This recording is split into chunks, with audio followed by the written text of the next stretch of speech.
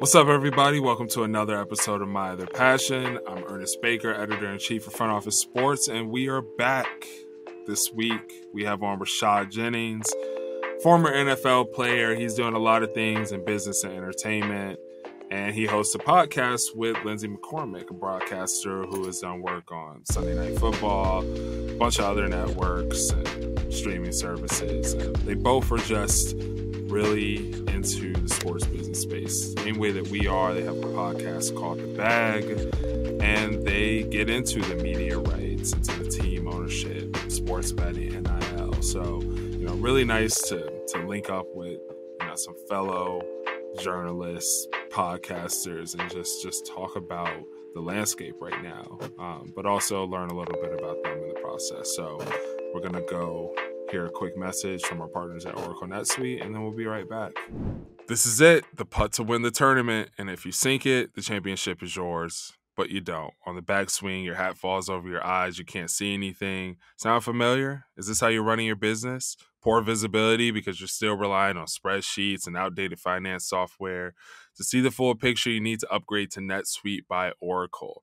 NetSuite is number one cloud financial system. It's going to give you a full picture of your business with that type of visibility and control of your financials, inventory, HR, planning, budgeting, and much more. You're really going to get everything you need in one place.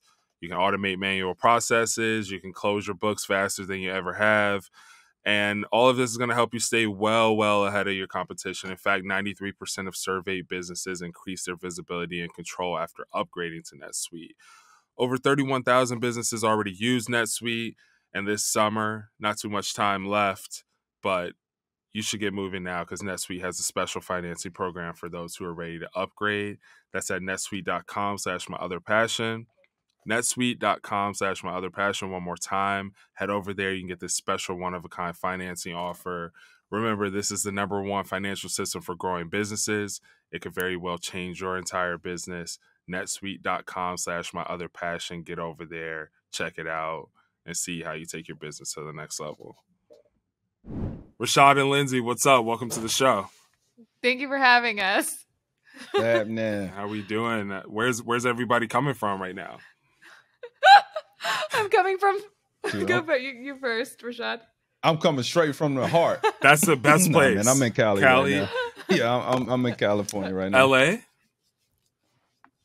No, San Diego. Okay, tight. I just feel like everybody on this show is like winds up being, you know, in California at least, but maybe maybe Lindsay isn't.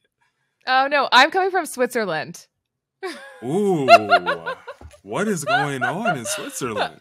I'm She's getting a custom made no, watch. no. I'm on my honeymoon. We're in Lucerne, Switzerland, at the place where Audrey Hepburn and Sophia Loren used to live, and where Audrey Hepburn and her husband got married.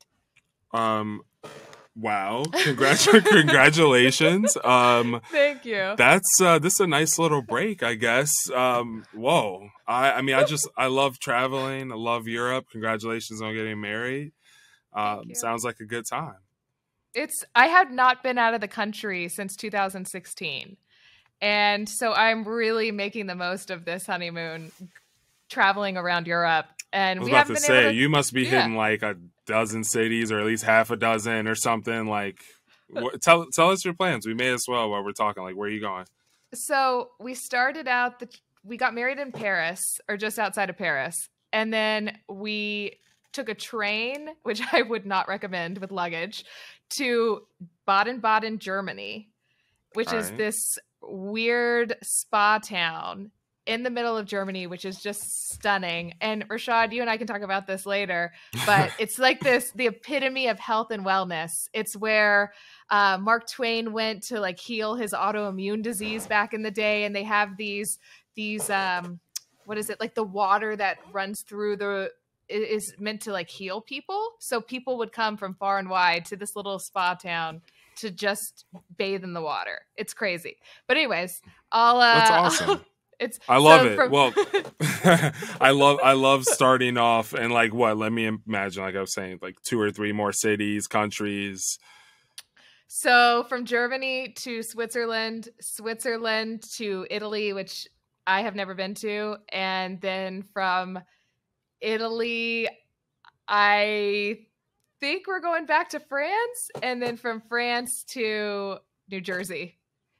All right. Well, I almost want to like give it up and do like a round of applause. Like uh, nobody has started off an episode so far with uh, travel itinerary, but I like it. You gotta you gotta switch things up. So um, you all have a podcast together, The Bag. I'm I'm correct, right? You launched a couple months ago. How's that How's that been going?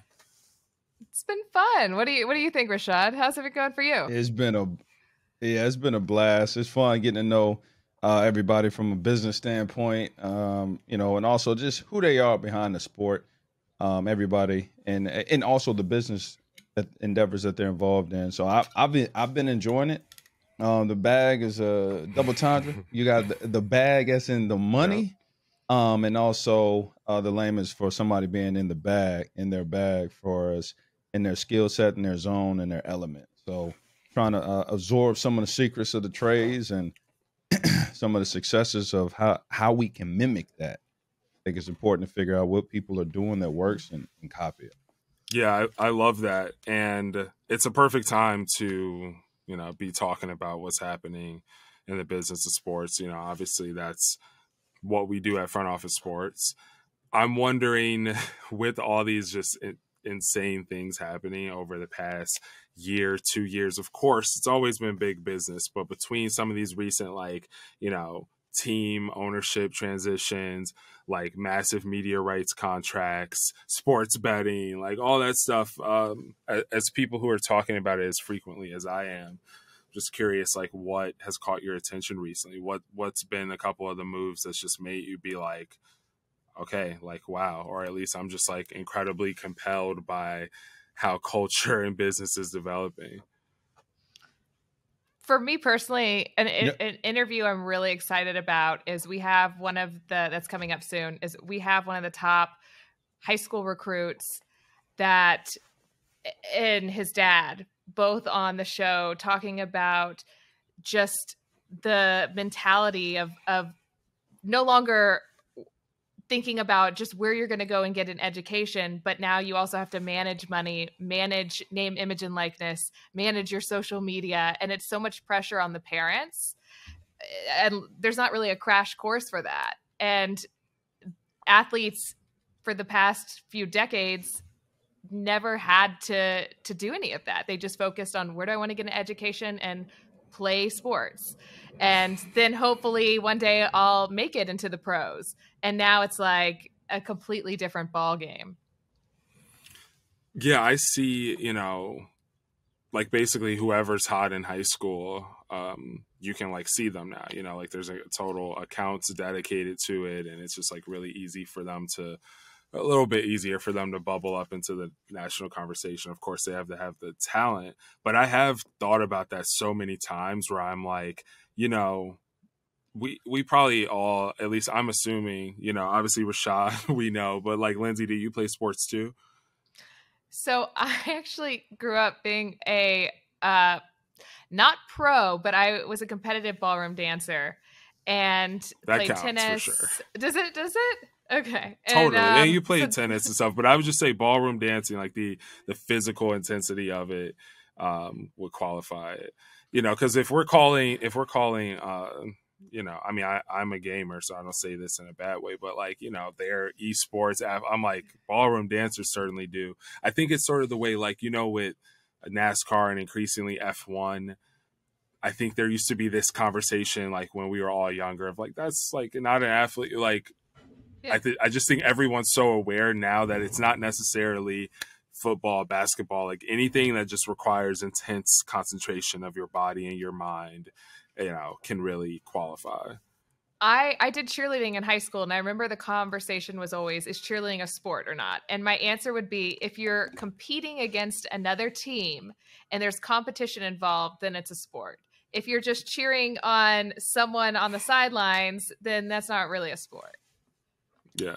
Well, the reason we got off on that tangent, we were talking about like the, the high school kids and and they're just like always being watched, you know, like we played ball, it was always competitive. Um, but they are so aware of their image and like, you know, even like hamming it up for the cameras a little bit because they know you know they have the pressure of of it being all over Twitter or TikTok or what have you. Like Rashad, as someone who really kind of reached one of the pinnacles of being an athlete, you made it, you went pro, you made it, you know, to the NFL. Um, what do you think of that kind of like pressure and like having the eyes on you and just how does it compare to you know a little bit ago when you were doing the same thing because you all had pressure. You had people watching. You had the newspaper taking photos and stuff. So it's not like y'all didn't know about having some spot- spotlight but i wonder what you can see as like the major differences uh, in that in that come up culture. You talking about the pressures from like growing up like high school to college to yeah and also just Is like the what way that they have uh, everything because because Lindsay was talking about the interview that she's doing where um, you know you have to consider this like youth sports? It's younger I think you said high school um, who who now has to be conscious of his image and his brand and all this you know on social media right? And as someone like you Gotcha, who can compare and contrast because you came up you know you're great high school college you go pro like what do you see as kind of the difference um, in how like youth sports and just young athletes go through their journey? Uh, I feel bad for these kids now, honestly, because they are, in comparison, um, ripped away from like childhood, being able to make mistakes and learning from those mistakes, like uh, public opinion and ridicule at at one little thing. Uh, you got in a fight in high school and now you're ostracized as this bad person and you know everybody tweets about it and then you know if you get into a fight in high school and somebody punches you and let's say you lose a fight only people that know that are the people that was around. Now video cameras the entire world know now you have to deal with that pressure. And then the same thing if you drop a ball uh, now it's not only the people that know that was on that field but now the world knows you couldn't catch the game time winning clutch play and now you're known as uh the lack of like oh, you're not clutch and so like dealing with all of those cyber thoughts is very difficult i think for a young mind. You know heck it's a difficult for adults. Watch twitter. They can't even figure out how to handle handle but this it's stuff. like it's like the So can't pros always it's- knew at a certain level. Once i make it to a certain level in college and you know uh, uh, in pros like i'm going to literally be on television. And now you got people who the development stage has become very open to the world Right, and and it's this idea that you are a pro when you're not too. That's the, that's the sad. You're right. There was a prerequisite in order to get on national TV and ball and be seen by a lot of people. Now you can just do it by and like I said, attention is the new currency in a lot of different ways, right? And so you could you could have a kid just you know make. They're so schematic about highlights. I I coach still, like I teach. I have all these. you these. coach camps. fan control these football leg- by the way right Yeah, I've done yeah Fan Controlled Football. I I I still help out at different camps.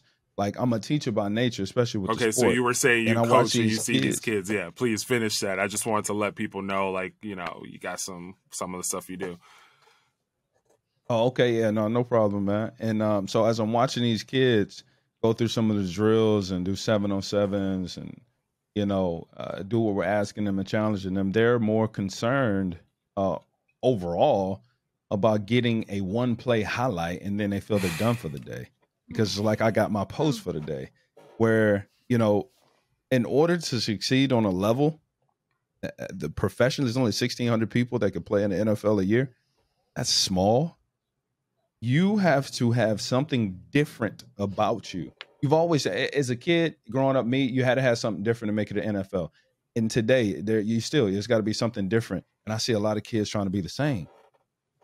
I um I, I'm just like it, it's it's interesting. I, I the whole idea of like the highlight thing because you see it like you can discern from looking at social media, but you as a coach, I'm like, okay, that's hilarious because you have like real perspective. I'm just I you know, I'm not I think I love a lot about what this generation does. We had um CJ Stroud on here like a few episodes ago and like he's amazing, has like an incredible head on his shoulders, was telling me I feel like social media is fake. I don't be on there all the time. I'm not trying to hate on social media either, but I do think with these young athletes, like it's important to put in the work and not and with anything like you know i saw anything anything in life not getting gassed about it too early is going to be beneficial because i even saw something about it was about like the media business and uh, this executive he was talking about like building up a media empire and he's like don't don't get too excited because some few people on twitter are saying that like you did something great like that's cool but you have a lot to do and that can apply to business certainly can apply to these uh these kids you're talking about. I'm yeah if you no no go, go ahead. i was just going to say i'm so glad when we were in college we only had facebook and maybe myspace with like the top five but we didn't have to worry about we, we could live life and make bad decisions and learn from our mistakes and not have to pay the consequences of not getting hired ever again as a result of it it's a big deal. It's a real big deal.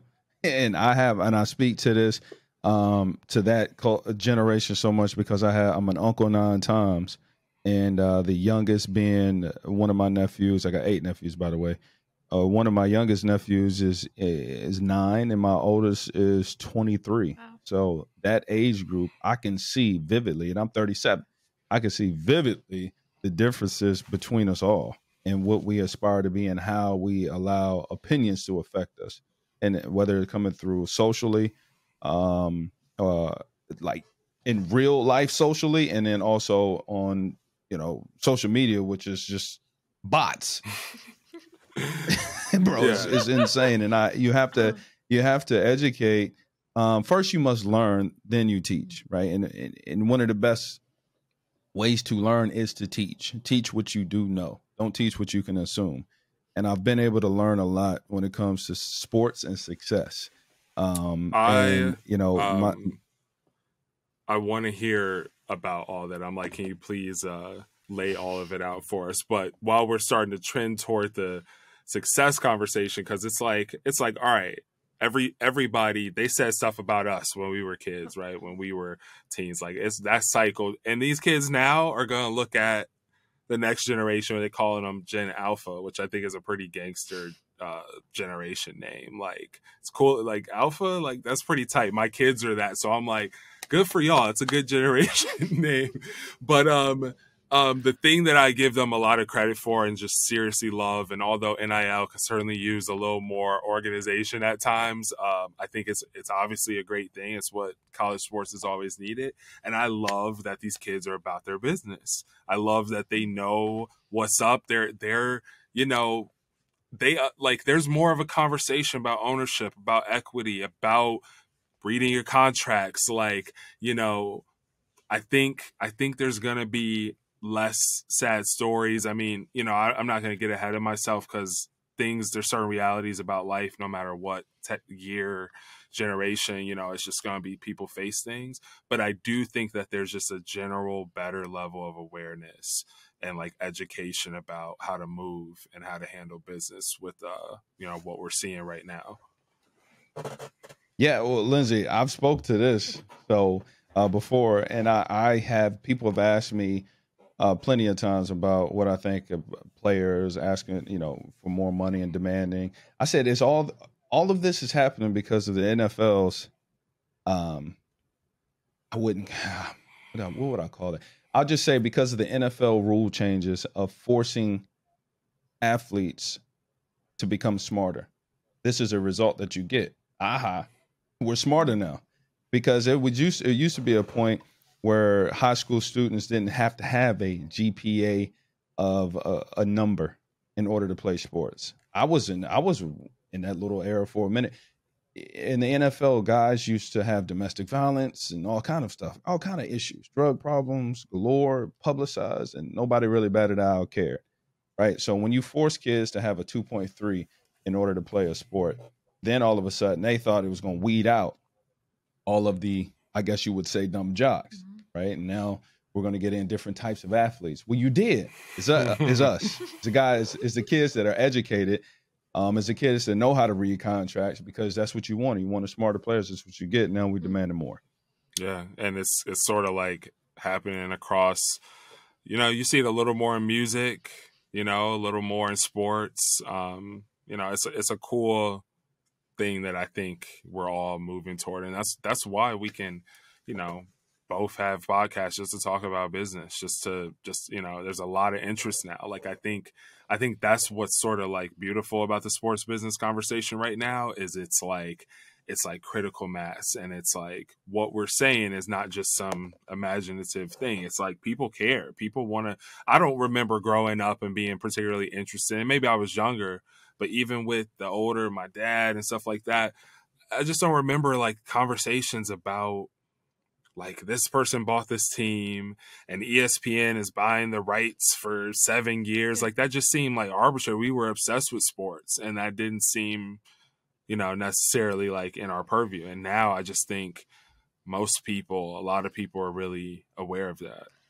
It's weird too because I don't remember being a fan of sports from a young age. I don't remember caring about the details of someone's contract. And now it seems like people are so interested in dissecting these different contracts and seeing all the the the wording and the guaranteed money and everything that that goes into them whereas i don't remember that being a part of the the sport even though players were paid well back in yeah. the day but and people just, definitely talked about it but yeah. it's like front street now you know it's like super front street very you know casuals as they would call them like are pretty are familiar with some of the stuff going on you're also seeing like these record contracts too which make for really nice big headlines. Like every, I'm always laughing because I'm like, how many historical or record breaking things do we see from like a dollar amount or like what have you? It's like every year something happens. Um, yeah. So definitely a ton going on there um, NFL in particular is like probably one of the shining examples of this growth that we're talking about. Like, I don't know, it gets referenced a lot, but like the media rights deals are just crazy. Like the whole 100 billion, 113 billion or whatever. Um, and, uh, you know, we got NBA media rights negotiations like coming up right around the corner, you know, 24, 25. Um, but I wanted to talk about NFL for a minute because, like Rashad, you played Lindsay Sunday Night Football. Like you all are have worked in and just very closely with the league, and like um, over the years, having seen them years ago, the state of the business, having you know been familiar with it now, whether it's because you follow the space or you literally work with people. Um, what do you think about like how the league is evolving?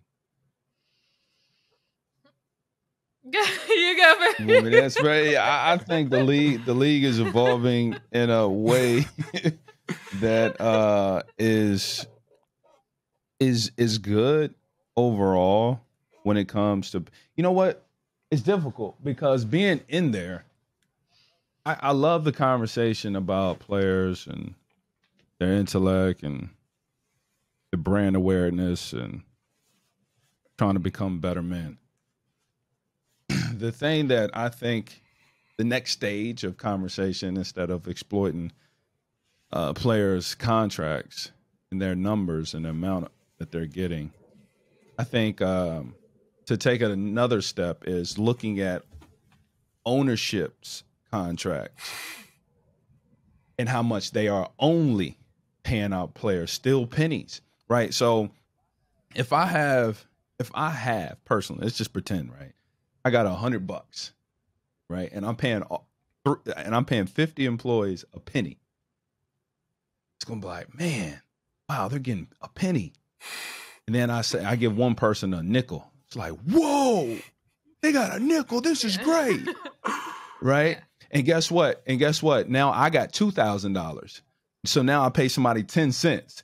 The 10 cents is crazy. Now I get now I get ten thousand dollars and I finally give somebody a, a thousand oh my gosh, they're gonna lose their mind. My point is, if you are still enamored by the players' contracts, what do you think the owners are, are getting? Like, that's that's the that's the conversation that needs to be had. And the players then, I'm telling you, it's the next stage of waking up. I promise you, players are still not getting paid their value. Wow. Okay, so so, but so tell as, me while we're here, what what what let's like like let's we may as well get specific. I could tell you're passionate about this. Um and you and again you played in a league, so you have the insight. Like what we like Dak's contract, for example. Like that came out whatever I, f- I forget exactly what it was. It was I don't know. It wasn't like 175 or 200. It was like those are the type of things that we see in baseball. Somebody gets 300 million, right? But but what 300 million is like? What do you think? Are you saying that like a player should get like a billion dollars actually? Because straight up, like a star player yeah, should get easily. like a billion dollar contract easily, easily. Look, and, and and it doesn't even make agents. I still don't even understand why agents exist. I don't understand the negotiation side. Why are we neg- like, bro? imagine this. Just imagine this for a second. Obviously, it's not the same structure of of of business. I'm just just play with. I got you. Right? I'm not comparing apples to oranges, but imagine you got that Sox hat yeah. on, right? Imagine going to a uh, a company, uh, or going into a business and going into, let's say, um, you know, what was it? Hat yeah, lids. That's where I got this. the water Boom. tower in Chicago, great place. All right. How do you know how much? Do you remember how much it um, was? They're like it's funny because I remember when I first started wearing fitteds in like elementary school, and it was like these are 25 30 dollars. They're like sixty now. You know? Yeah. Yeah. Sixty. So imagine the price is sixty, and you go in there, and you're you're trying to negotiate to get it for ten bucks. What they do there? in um the in reason, the NFL or just other sports leagues? Bingo, you negotiate, right? And what do you negotiate? You negotiate, well, I'll, you do this for me, I do that for you. The reason why you should let me wear it because I can be a brand holder, I can be a walking billboard, da da da da da da. You negotiate your way until, you know what? Hey, you're right. I'm going to give this to you for free. So eventually, you know what? I'm going to pay you to do it. That's what an agent only can do is try to negotiate a value that already exists, right? That is part of the reason why players aren't getting paid what they should is because agents actually are in cahoots some of them not all some of them are in cahoots with the ownership of of of, of bartering with the players. Meaning for example i've seen this where an agent I have two two clients. Agent I have two clients and tell tell the owner like listen i cut you i give you i give you both players if you cut a deal with me. I can negotiate to my player, like say I'm representing Lindsay. I can convince Lindsay that, you know, she only can 10 million is a lot for her in her market and her right. value. Really, she's worth about 30. But I am an agent, I could definitely convince her. So it's like cut a cut a, cut a twenty thousand a twenty million dollar deal with me, and I'll convince them that it's only worth ten, and they'll be happy with the ten, but not knowing they're really worth thirty. I didn't. I I cut my middleman out, and I got more money than he said that I was going to get. Why? How is that possible? Because people Lamar like, Lamar it's woke up. By, yeah. Yeah, a lot of people have. Now, guess what? They're going to try to say, "Oh, you're stupid, you're foolish." Why? Because they have to keep that same mind, that mentality in order to control players. Wow. Listen, I, players still aren't getting their full value. People think about this so much that what what is the conversation when you talk about the conversation? I guess is the word of the of the day, but but that was just so apparent with NIL with college, and I it's really interesting to me how you're like, dog, this is uh probably even more of a thing with the greatest athletes in the world in these pro leagues. The idea of value, yeah, it is. The idea of value is is still there still prevalent and always. Yeah, I was be. about to say, I, I, you know I don't really see a kumbaya that's going to rectify this, but I do think you know like being a pessimist doesn't serve anyone. In real talk, when when a Lamar situation happens, and yeah, we've seen holdouts before, but I think it's you know there's also like there's an awareness of value and it's like this like crazy deal that you're going to get this record breaking deal that you want to offer me is actually not enough you know, because Lamar could get paid more than Dak now.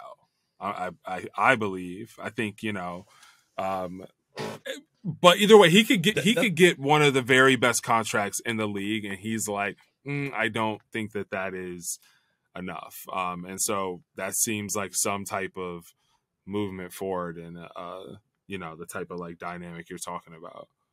do you guys see contracts in the league headed more towards Deshaun Watson style contracts where there's fully guaranteed no matter what happens, or more like Jimmy G, where you have to earn your money and there's more incentives written into the contract? Depends on the agent, honestly, because the agents are making the agents are convincing players to accept the money more than they are fighting for them to get more. Hmm.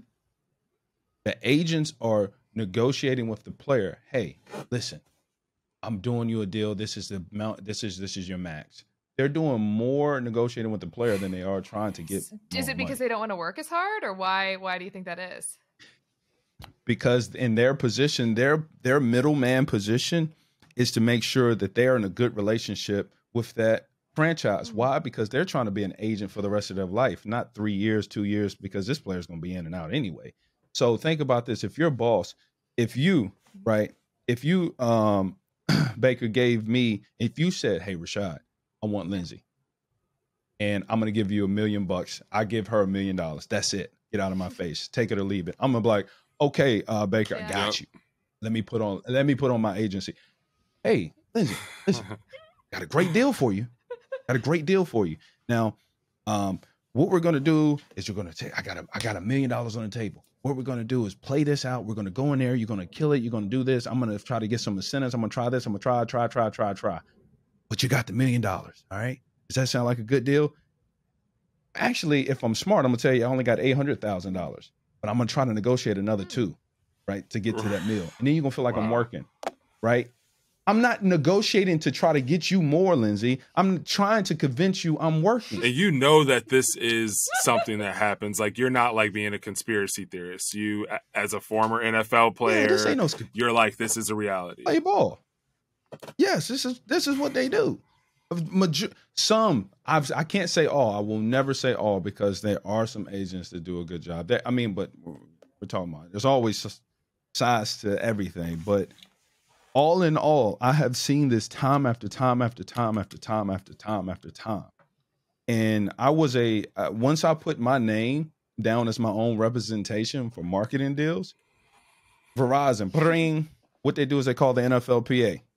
Whoever's on your uh, MRA, whoever represents you, they get that phone call. So let's say, let's say I have an agent, right? Let's play this out again. I have an agent. Baker, you're my agent. Lindsay, you're Verizon. You call the NFLPA, so guess who gets to call Baker because his name is down? You're going to tell him, hey, I got a $50,000 deal for Rashad Jennings. He's going to be like, oh, that's my client. Gotcha. He's going to call me, bring. I'm like, yo, what's up, Baker? He's like, Rashad, I'm out here working hard for you. I got your $50,000 deal. He ain't done jack but answer a call. Now I'm going to think he's doing his job. So I'm going to, hey, that's my boy. That's my boy. Right. Soon as I get rid of Baker and put my name down, Lindsay, you're going to call looking for me. Bring. Guess who's going to answer me? Hello? Rashad, I got a $50,000 for you. Deal for you. Guess what? I don't have to pay 20% on that no more. Yeah, that I mean that alone, the percentage, because you know, it's um, I guess like there's also the there's a reality of I think there's like this decorum thing right that everyone has in mind, or just like not wanting to disturb the peace, and like I think the agent might be coming from a place of anxiety of like you know let me just get this deal done because I'm in the middleman. I need I need to make this happen. I don't need the, to spend all the time necessarily, but you know, agents could be incentivized by getting more money so they get a, a bigger piece. You know, like um, like I think I think in reality, like most things in life, like there's a lot of different situations. There's a lot of different um, ways that people go. But Lindsay, I am curious about you know the broadcasting business and you know what you kind of learned and, and saw doing Sunday Night Football shows that you're like still doing now. Um, at FOS, like a lot of a lot of people are really interested in broadcasting and in anchors and, and you know people calling the games and everything. Uh, one, they add so much to the production. It's important. We need to like feel an experience when we're watching a game. Um, you know, we also like learn to love these people personally. Um, you know, I saw like the inside the NBA guys at TNT just got like the crazy re up contract because why wouldn't they? Everyone loves it. Yeah. Uh, I'm best, actually really best happy- team in broadcast. I was about to say. I'm so happy Yeah. that they did too because um, I think everyone's always like, I hope this never ends, you know. So I'm glad we got like another decade uh, in place. They're awesome. They it's really like so, are. yeah, it's so entertaining. Um, but what? Oh, you know what? What I was saying is just that people from the FOS, I can see how engaged people are. Like some of our most successful content is know, Malika is hired here and doing the, like all these like different people um in the business like people are really invested in uh, the, you all success like the development we like learn to like you know we're like friends with you through the TV and I don't know you're in that business. I'm always you know we're reporting on it. It's a social post. Uh, I I personally am not always sitting down. Our guy Mike McCarthy who is like our media reporter is it talks to me people all the time. But um, now that i'm in the seat i'm like what's up lindsay? Like what what has that journey been like for you? It's in terms of contracts in the broadcast world, they definitely have changed a lot since I first started. My goodness, it was like 15 years ago. And now you see more athletes retiring, and it's just a natural transition into the booth. And you see the contracts are starting to reflect that. And when I first started, I never thought in a million years I'm going to make so much money doing this. I just thought this will be a fun career and I am passionate about it and I love it. And if I happen to make money, great. But I probably also need to find a second job or a side hustle to bring in more cash. But now you're seeing guys like Tom Brady sign on for a deal, even though he's still playing, and uh, Charles Barkley with his the new- aikman deal was like 90 or 100 mil with espn like Tony Romo. That was Mhm. a wild contract. And they're giving them these contracts before truly seeing what they can do on air, especially Yeah. the Tom Brady one. We don't even know if he's going to be. right do you think tom brady got a test a, a test episode like they're just like man take the bag Yeah. I don't think they. I think maybe Tony Romo they brought in for a, a test or two and had some meetings with him and realized, oh, this guy is charismatic. He, he's going to be fantastic. I think they knew they had a special gym with him. Whereas with Tom, I think they're just like banking on the name and really hoping that he brings a sort of outlook into the booth that not many people have. But this is a long-winded way of saying the contracts have changed drastically. And as a result broadcasters that started out as either journalists or sideline reporters and are climbing their way the local route there our contracts have increased as a result because they want to make it fair for everyone in the booth even though if you're a journalist you obviously don't have experience playing the game. But but you put in that work you know? You build up Yeah. your resume over over over years and you know study the game like so that makes sense. Uh what do you think about i think like amazon is kind of interesting in particular uh even though everybody else just like signed these big deals too like they're all people who have been broadcasting nfl for a long time. Um but man amazon i just i, I can't help but talk about this when we have a broadcasting convo um, because one, they're just like really aggressive in their marketing. I get, I'm getting like packages of toiletries and kids stuff to the house, and the whole wrapping is like, you know, watch Thursday night, watch Thursday night. You know, they're integrating with Amazon Music, all this stuff, but you know, bigger than any of one integration. Just like, you know, what do you think of that when you talk about what your pod is about, what this one is about, sports business, all that? It's like got to be one of the most significant developments um like and they're and they're trying to do more but they you know they just debuted like a format. I think everyone has their thoughts about it. I wonder what you all's thoughts are.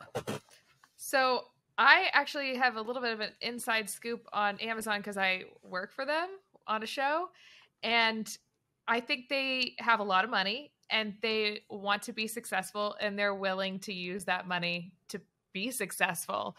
Um, whether or not that will pan out, I, I I don't know. I think at the end of the day, people truly just want to see the game. They love all the extra things, and all the extra commentary, but I think the people that own the rights, and we had a guest on here that was talking about this similar uh, topic that aired on our show last week.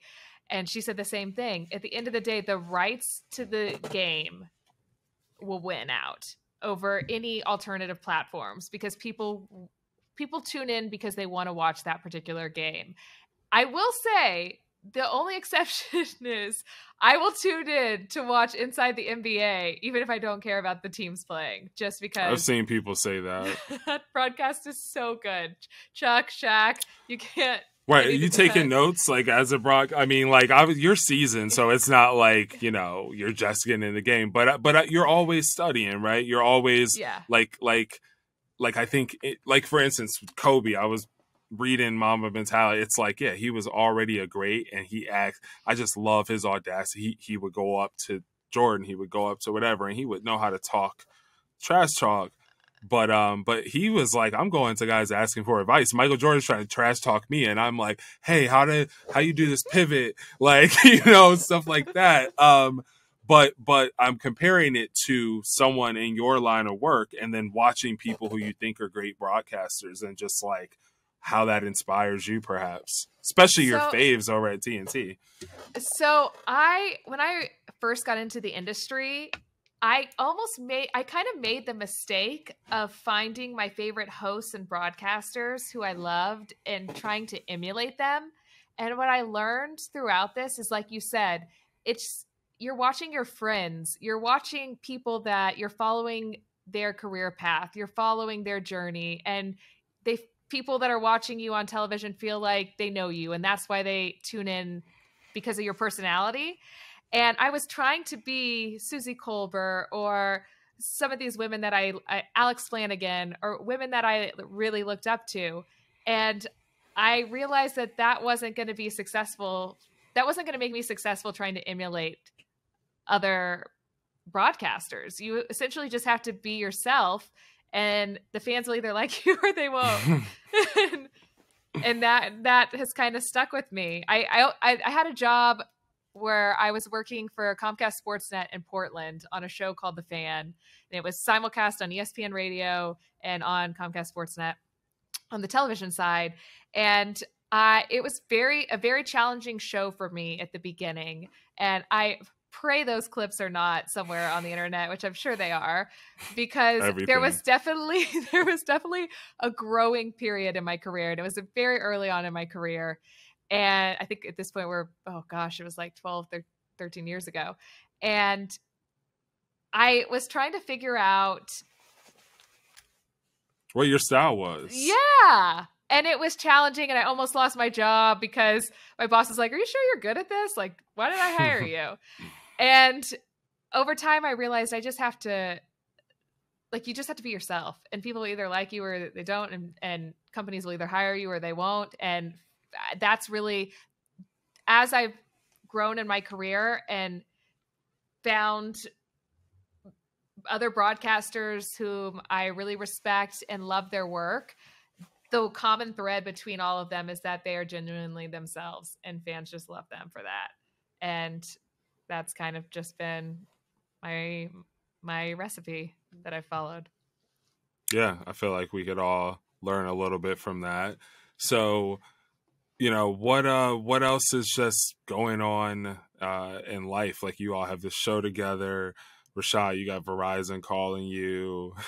like just uh, you know, like what's up? I, I uh, you know, like like we talk so much about you know, life after sport and NFL and getting your business right and you you explicitly do a show about it but i would imagine you know that's part of your life personally as well um and so you know what are some of the things that you know you're into um from a business perspective or even just like what your career in the NFL and perhaps some other um, you know successes of yours has like afforded you you know you like you, like are you really into cars? Are you traveling? Are you out in Switzerland like Lindsay?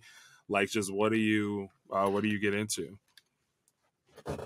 So there is a I'm gonna start off by saying this. There is a quote that I don't live by, but I live my life in such a way that if somebody was shadowing me, it may encourage them to write down these words. It's the master and art of living shows little distinction between his work and his play, his labor and his leisure, his love and his religion. He simply pursues everything he does with excellence, leaving others to decide is he working or is he playing? But to him, he is always doing both. I say that because I do so much um and I'm just having fun. And somehow that turns into finances for me. Right. And so, you know, I pick up dancing. I fell in love with dancing and won Dancing with the Stars. I decided to start writing, became a New York Times bestseller. Um, I dedicated my life to becoming a great athlete, went to the NFL. I decided to pick up renovating, uh, learning how to renovate homes, and now working with HGTV on renovating homes. I, I, I got tired of going on everybody's podcast. Somebody's and they would always say, "Hey, you should start your own podcast." We're doing that now. Like so, it's not that I have a particular goal in mind, other than it's more so um, affecting people in a positive way is my goal. And I use so many different instruments to sing that music to different cultures, people, uh, places. And so for for myself, man, I started an esports organization not too long ago, uh, just because I was playing video games way too much, and I said this is really dumb for me to do when I could be doing so many other things. And then somebody said, "You ever heard of Twitch?" I said, "No." Looked it up. Boom, makes sense now. Um, so you know, then you know, starting other businesses and companies. Like I, from a business standpoint, I have, I'm doing a lot, but it all comes from the place of me. Where's my fun, and how do I turn fun into sharing, uh, and then sharing into a profit? Question mark. Is it possible? Then let's do I it. I can't believe the people who like Twitch and YouTube, like like you really can get paid on there. Like there's people who are like, you know, I mean, I a, a, friend of mine, um, you know, he's very close with, uh, you know, I, I don't necessarily have to name him. He's one of those guys who, every you know, millions of people are watching and stuff. But like, you know, this like a million a month is like not unusual for you know one of the like top rock like Mr. Beast you know like some of this stuff is just like it's insane we've never seen anything like it um and it's cool um and i love your philosophy i love uh i love i love your quote about life i think you know it's definitely not a bad way to live not a bad outlook to have you all are yeah, good. Man. I see why you have it, a podcast. It's fun talking to you all. You have great sounding voices. I'm like, I'm taking notes. we we taking yeah. notes too, man. Always, always taking notes. Yeah. Lindsay, um, what about yourself? You know, we obviously established the the wonderful Europe honeymoon right now, um, but you know you've you've been in this for like 15 years, like you're saying too. So you've seen a lot, you've been through a lot. Um, you know, now you're at this point where, you know, I'd love to know just what what you've learned, like what what I think like when I ask these questions, it's coming from a place of like, I really feel like, first of all, just a lot of us, you start having epiphanies in life. You know what I mean? You start hitting, especially like, you start hitting like your 30s about like that's where I'm at, early, you know, early 30s. Or I see, you know, I have a lot of friends over the next 15 years. It's not all about age. Like, obviously, you got to grow and do stuff in your 20s but i think it just does take an amount of time and an amount of experience to start having like real perspective to not be just caught up in the moment because at first you haven't lived that long like you know like i i always think about kids and it's like if you're five years old like a year feels very long because it's one fifth of your life now these years are flying by and we're also able to look at several of them. We're able to like chart our life. Um, and I thought Rashad clearly Rashad is working and playing. That's gonna that's gonna carry you pretty well. But uh, but Lindsay, just like what do you what do you do? What do you love? Uh, what have you like kind of discovered about yourself from from all the kind of work that you've put in? So my twenties were all about work, work, work, work, work, and trying to build a career and figure out what my passion was in life. And sports was it. And as I've gotten into my 30s and gained some perspective, I realized that I didn't have a great work life balance. I worked myself into an autoimmune disease. And then I got to a place where life was like, you have no choice but to slow down and prioritize your life. And I re- had to really sit there and think, okay, what does God want me to do in my life? And what do I want the next 10 years to look like career wise? And what do I really enjoy about sports broadcasting? And for me, the biggest thing was the people I got to work with and the relationships I got to build. And I realized, okay, sports is just a vehicle for that. And so the past, t- uh, let's see, I'm 35, about to be 36. The past six years for me has been finding ways to better connect with others. And sports has kind of always been that middle ground for me. And that's why I genuinely have loved it since I was a little girl. My dad and I would connect over sports and would watch mm-hmm. the baseball game together and the Astros games. And that for me was Oh yeah, you're from Houston. Good. Uh, well, you know, like you, you all, I, I, we could do like a whole episode about the Astros, but you, I love Houston people because I'm like, yay, the only people in the country cheering for the Astros, but but yet you all keep turning up. Like it's it's hitting the point where some of the controversies, it's like, mm, yeah, but they're legitimately like a dynasty. so, so I don't know. I got love. I got love for y'all but we know it's a little bit tense out here. Yeah, so for me, I guess the past 10 years, the thing I've learned the most is that what I genuinely love about the sports world and this career is that sports are a common ground and between everyone and my mailman loves sports my Pilates teacher loves sports. My doctors love sports. So it's it's that it's a one of of a few things that truly bonds people and helps you build strong relationships. And that has been the work life balance I have been trying to find is focusing more on working with the people I want to work with. And like Rashad, I love working with Rashad. He's uh, it literally brightens my day to get to log on to Riverside and see Rashad and talk about the latest things in sports, but then also when the, the camera stop, like talk about what's going on in our lives. And so I feel very lucky to to get to do this for a living. I don't know if the Alps have snow yet. Um, no, but I'm hot. like, are okay, because I'm like, are you going skiing? You know, like you going? What's like? What What's up? What do you?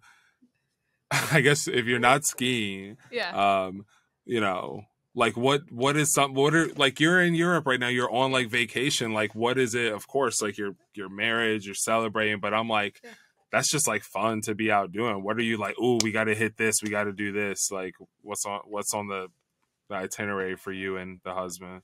So for the first day we got here, we took a gondola down to a boat and then took a boat across to across to this is the wildest trip I've ever been on. Took a boat across to uh, Lucerne, and then we walked around Lucerne and just explored the city. We just love exploring new cities and new cultures Same. and eating the eating the food. That's really my only. Why is priority. a new city like like the best feeling in the world? Like it's just it's something about it or just you know what i mean uh and also just like international stuff like getting out of your element it's just like you get it's almost like you unplug from the matrix and you can just like appreciate being a human but one thing i always reality check myself with because i get like serious um like expat like FOMO type. You know, I'm like, oh yeah. my god, I need to. I can't ever have a good vacation without being. I'm moving here. I'm next year. Let's. You know, I always, I always am like trying to plot on moving somewhere just because I had like a good week there. But how I reality check myself with that is is the people who live there are in the same position. And I, you know, I'm flying back home into New York City or into Los Angeles, and they got their phone out the window, and they're like, "Oh my god!" and they're getting their escape. You know, I, Yeah. I saw a TikTok where.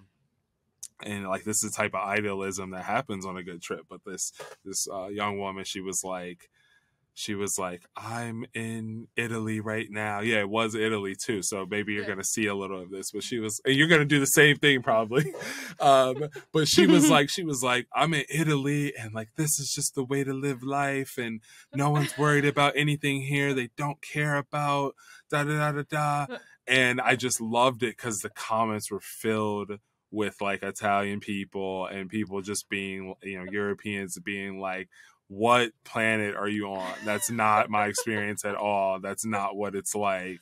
I am always working. I need to pay rent. Like, uh, so you know, it's good. Seeing the world is awesome and like gives you perspective. Like Rashad, do you get out um, you know, much, especially with your whole like work and play philosophy? Where do you where do you be at, you know, on this planet?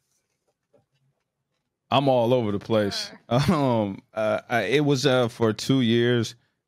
It was legit. Two years straight. I was in a different city every week. Wow. Um, traveler. Uh, just and you know, I really, I really got a chance to explore the U.S. in a crazy way through tour busing with Dancing with the Stars, traveling from meeting to meeting to meetings.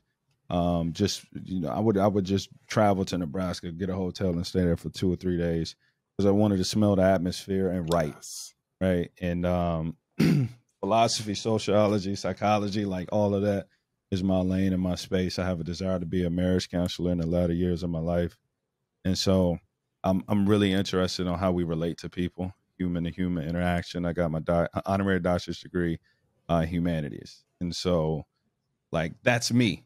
Absorbing life, looking, thinking, philosophizing, probably stupid majority of the time, but like that's my muse, right? and I try to stay away from being amused um, quite often. And um, you know, you know, m- um, being amused is without thought, and a lot of entertainment amuses us. We're not thinking. That's why so much crap can be thrown at our face, and we accept it because we're amused. yeah, it's also a lot a lot of disposable stuff that that comes and goes. Like like I always try to like when I talk about the reality check with the like foreign, oh, I'm on vacation. I think sometimes people do that where they're like, you know, we start getting older and it's like every everything is trash. The music is all bad now. But you know what? There was a lot of trash in the 90s on the cassettes, on the, you know, there was plenty of stuff that was like record labels pushing some corny agenda and it never cut through and novelty acts and one hit wonders. Although I have a lot of respect for one hit wonders because there's so many good ones. And it's like, if you ever make one song that's as good as some of the one hit wonder songs, it's like, then you did something powerful in the world because it's still on the radio all day. Um, Exactly. How is it? How is a one hit it's wonder? not. I know. is that a I- term? and then if you're smart, like like some of these people are just like paid. First of all, they're getting like the Super Bowl commercials 30 years later and stuff. Just saw like the Rick Astley one. Sir Mix-a-Lot owns Baby Got Back, so he's like been set for life. Um, but I remember like somebody I saw some magazine or some years ago, and and like someone was trying to talk to Rick Astley and be like, "How do you feel about being like the Rick roll? Is that like your legacy and all that stuff?" And uh and he was like, "I retired at like twenty something. Like I'm good." you know, he was like, "I'm chilling." And then what what I loved uh was the re- reappraisal I saw him get. He just had a really I forget what brand it was, but it was a pretty clever commercial. And then everyone was like, "Oh, why have we been trying to deny that? Never gonna give you up." And together forever is like a banger, you know. But uh, I don't know how we got on to talking about Rick Astley. Um, music, man. Hey, but music. I, I actually dropped an album uh two months ago, so that was just something I wanted to try out. I got, you know, I got tired of uh, yeah, being on Twitch actually and getting some of my content taken down because I have music in the background. So I said, you know what, forget it, make my own music. Got together with some uh, a group of people, made an album, and it slapped. There- Congrats. So There's nothing Rashad can't do. That's what I've learned. I know, dog. Super versatile. I I love what you said about like exploring the U.S. Um, one, what you do, you know, going to Nebraska, locking in, writing. I've always had a fantasy of doing that in like Montana, going to like the Great Mm. Big Sky, Mm. dipping out. Like I don't. I, I think there's probably some stuff where I'll be like, mm, you know, this is a little different than I expected, but um, I don't know. Something about being in like Missoula and like some random place like in a in a fire you know cabin like i love things where it's like okay i'm still comfortable but i'm a little bit like in nature type of stuff so find like a really nice cabin it's like a cabin that's remote but like it has like nice appliances you know it's like clean and great like so i go no but go to something like that for like months and just like get a book done or something like that um and what you said about Ne- nebraska that's so real because a lot of people would think, okay, why do you want to visit Nebraska or something? It is it's just nice to see new things. I've seldom ever had a place that I saw, uh, you know, maybe some stuff, and not everything's thrilling, but a lot of stuff. The first time, the first and only time I went to Nebraska was in college. I went to Illinois, I was in business school, and we had this situation, this program opportunity to go out to Nebraska, go to Berkshire Hathaway, hang out with Warren Buffett essentially, which was amazing. Like we, you know, it was like other schools there was probably like 50 kids or something, but you know, he took us out to this restaurant, went on a little tour, toured Berkshire, uh, got to sit in a room and you know, ask questions and stuff. Um, but I just remember being like really appreciative of that, and not just for Warren, but for being able to see something new. Um, like I, you know, never gone through Iowa, and it looks like the Shire, and all the hills are all rolling and beautiful. And like I haven't been back since, but I'm glad I saw that. You know, I'm trying to see everything, and with the little time that we have here. I love it, man. Do it. Do it. Challenge yourself to do it, man. And, and you know what? I like to challenge you with this. This just sounds crazy, but this will help you. Oh, I wouldn't say help. This will allow you to take a part of my commentary on life and how I look at life. Uh, next time you open a door, right? Check which hand you're opening the door with. Watch what's natural. Stop yourself and use the opposite hand. Hmm. Then when you're um when you when you're about to brush your teeth, check what's normal. Use your other hand. Right. Do everything the op- whatever you're about to pick up a fork with. Use the other hand. Whichever foot you you're about to put on your sh- jeans with first. Use the other foot. Do all of these things, and then at night before you go to sleep, light a candle. Cut off the lights. Write about everything you did and what you felt. Just do it and watch what it tells you to do next. It's a it's a way of looking at life, right? See, I, I'm I'm very interested in learning how people think more so than the filed information they could give me. I'm always curious, like successful people, how do they think? What are they looking at differently? I want to see them in real time think, and you'll see yourself start to think. And when you see yourself think, it's very pleasant because you're re- you're. It's like you get this chance to know yourself differently, not just what Yes, you're breaking out of patterns, habitually bro. Like doing. breaking out of patterns and being like, like I was on uh, autopilot for some of these decisions. I had so many things that I thought is just the way things had to be was like my imagination, my own like biases and you know things that just like imprinted from childhood that I never kind of grew out of. Like we all have these things and it feels good trying to grow and learn yourself more. Like that's that's why I've been I don't really have much uh oh I'm getting older like I'm like loving this time and looking looking forward to more like yeah I love youth you stay healthy plus plus I just don't I, I just don't believe like I see people who are like 60 I'm like you're young like you know like I don't really Yeah. feel that same um and of course some people you know were, are they're not fortunate enough to make it that but some people don't make it you know to their to their 20s you know teenagers and so many cities violence and stuff so it's all it's all something to put into perspective but i do think i'm enjoying this time because um you kind of finally start to you will never figure it out. The whole like existence of humankind and, and religion and th- science and theories is because we're trying to figure something out to understand like why this is all happening.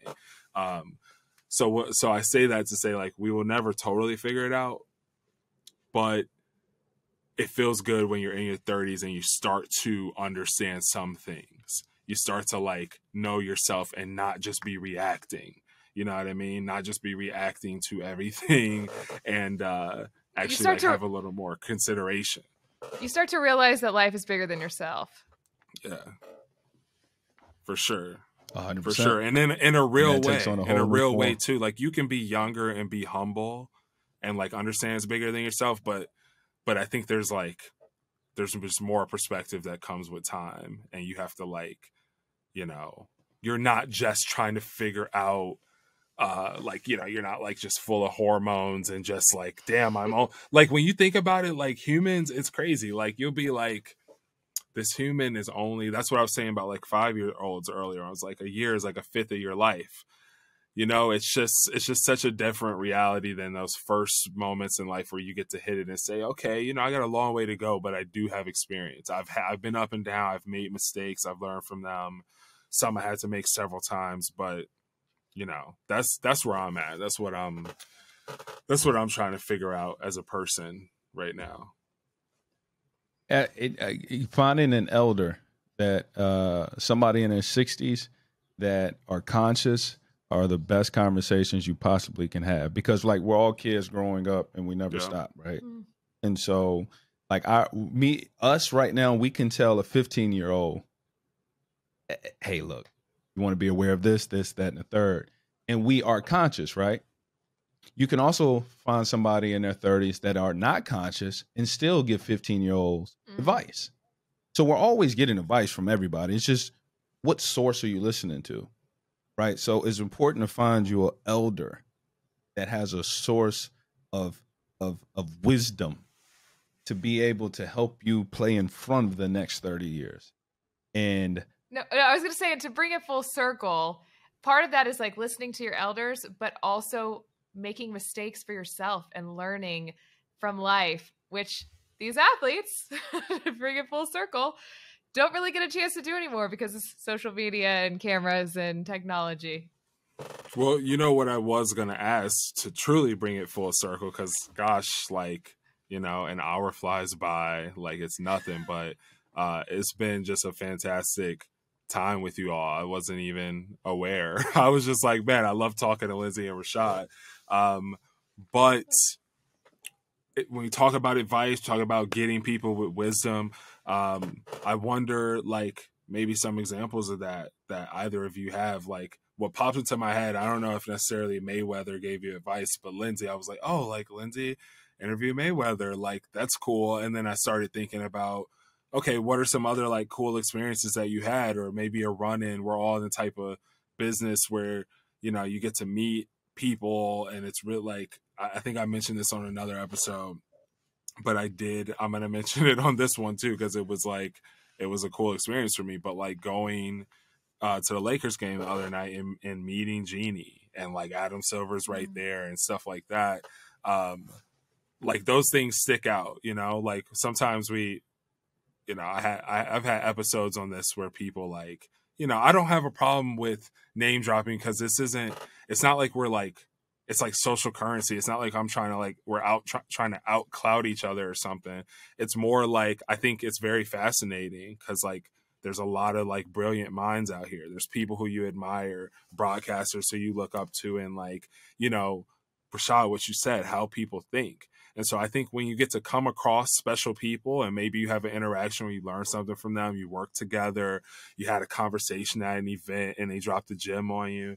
Um, but I'm wondering, you know, any any cool experiences you all have had like that, uh, work or personal or otherwise. Ooh, for me, it's always been I've learned more from people's actions than advice I've been given. I've just learned by observing people and the way they live their lives and that's in, like in a work context uh, people I've worked around. Kobe Bryant was one of those that I was fortunate enough to work with several times. And please tell us. I'm I'm not gonna let you go further. Like, please tell us a Kobe story, just because like it's like Mamba mentality. Like it's so like everyone has learned something from him. We had yeah. um Anthony Katz who founded Hyperice and was like neighbors with Kobe on here episodes oh. ago. But he had the best stories. He had a story about when they got to Vegas for the 2012 Olympics because you saw the Redeem Team documentary just made all the stuff he would do um, when they went clubbing and then they came back at five in the morning. He was up eating breakfast, going to practice.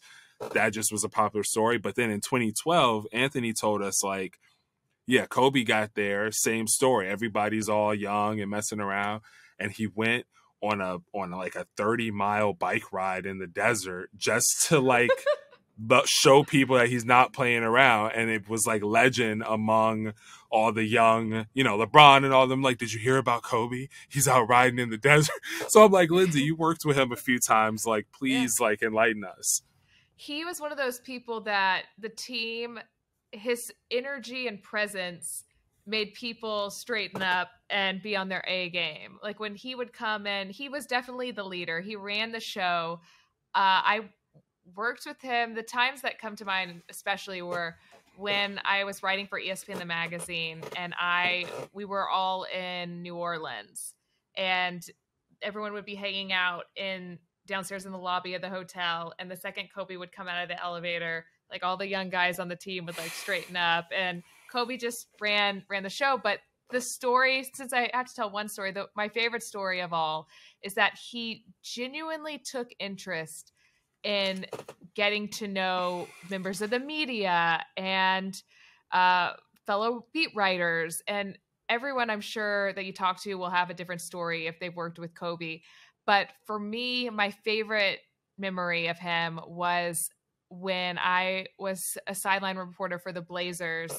This was after I had worked for ESPN the magazine and had had been around him and worked with him.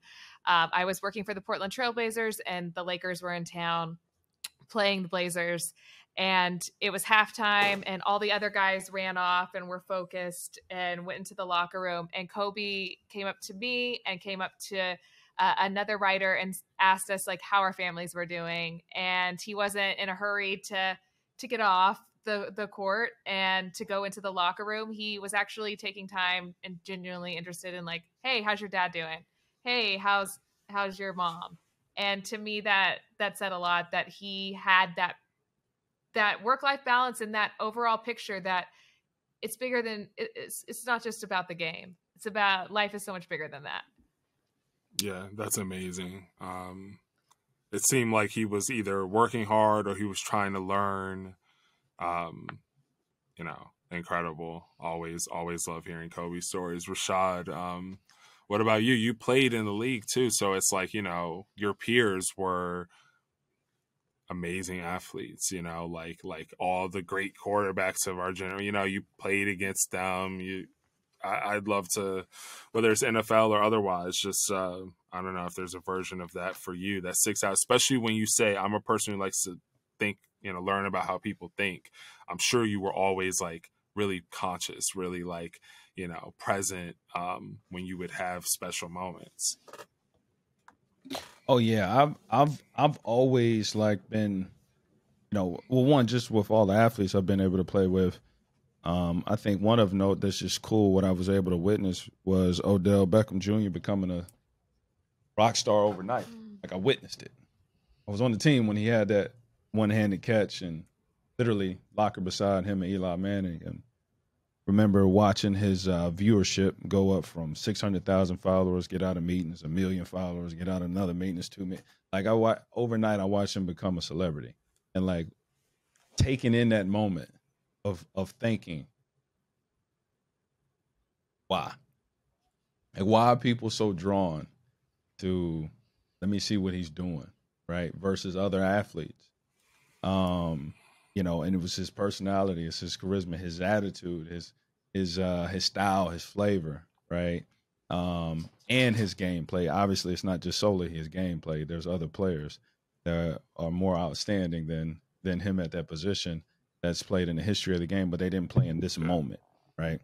And so what I recognize from that is just like it, he he he can he like aided in in it the idea of you know being in the right place at the right time, right? And that only comes from doing the work behind the scenes that nobody can see. One thing about Odell, nobody knows. Well, everybody kind of does know. He just doesn't get enough credit for it.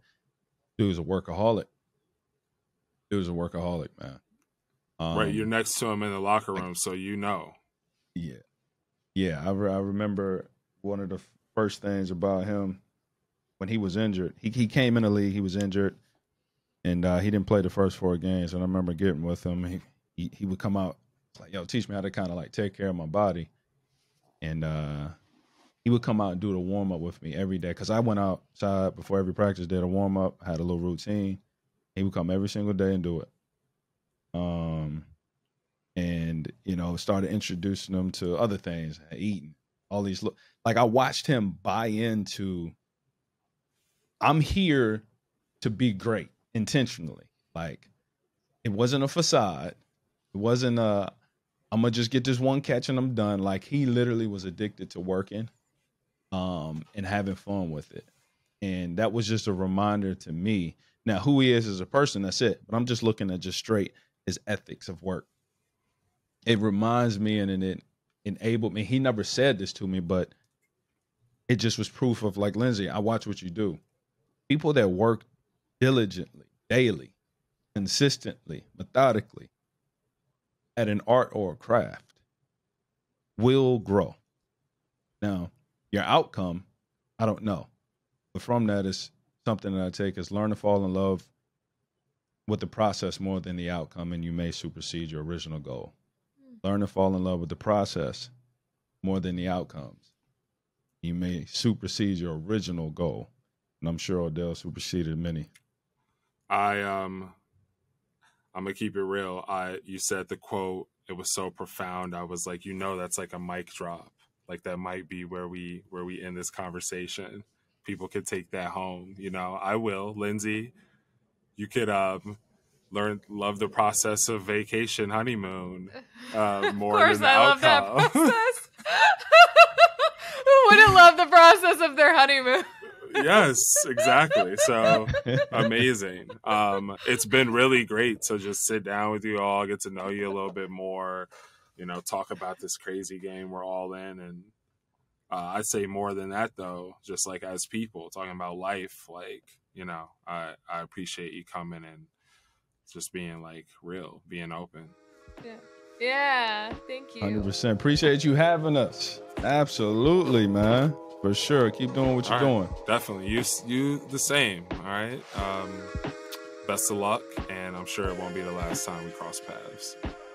That's a wrap on another episode of My Other Passion. Thank you, Rashad and Lindsay, for coming out. Definitely wishing both of you the best of luck with all your future endeavors. Appreciate you listening holler at me, Ernest Baker, on Twitter if you want to have another conversation, follow up about anything that you've heard in any of these episodes, and make sure you're listening to the lead off in the newsroom, other podcasts from front office sports. Thanks for tuning in. I'll see you soon.